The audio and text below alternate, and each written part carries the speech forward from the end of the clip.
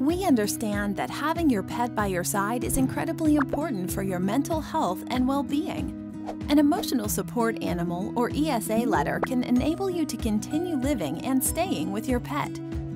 But what is an ESA letter?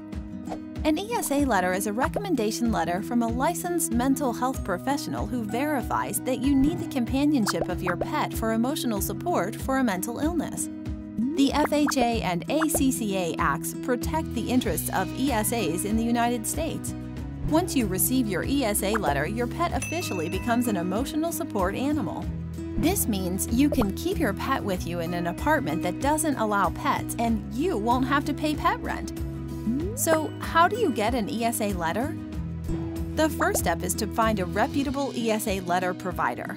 There are certain things to look out for when finding a provider, such as any hidden costs, scammers, and ensuring that the letter comes from a licensed therapist.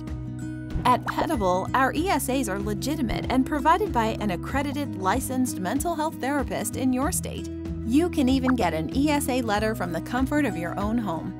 We are one of the only ESA providers offering a full refund if your ESA letter doesn't work and are trusted by over 50,000 customers.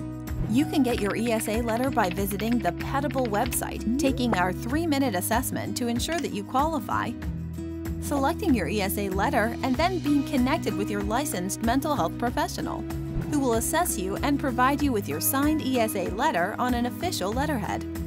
The ESA letter will then allow you to stay close to your pet, allowing you to start or keep living, traveling, and making memories together.